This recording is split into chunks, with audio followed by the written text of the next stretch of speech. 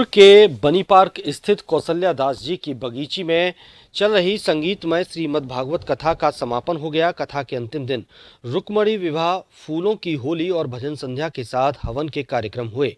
कथा संयोजक रामप्रकाश पारीक ने बताया कि श्रीमद् भागवत कथा 26 जनवरी को कलश यात्रा के साथ शुरू हुई थी और उसका पूर्णाहुति और भंडारे के साथ विधिवत समापन हो गया।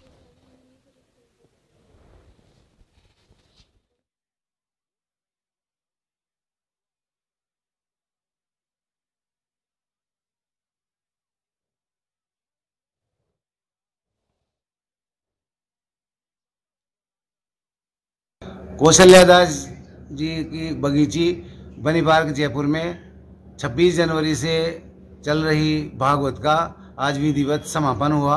इस दौरान 26 जनवरी को शोभा यात्रा कलश यात्रा निकली गई थी और नंदोत्सव हुआ और कृष्ण जन्म और राम जन्म का जो है उत्सव पर्व मनाया गया और आज उसका विधिवत समापन हुआ। उस पर भंडारे का आयोजन किया गया था, जिसमें हज़ारों की संख्या में भक्तजनों ने जो है प्रसाद ग्रहण की प्रसादी पाई और बहुत उत्सव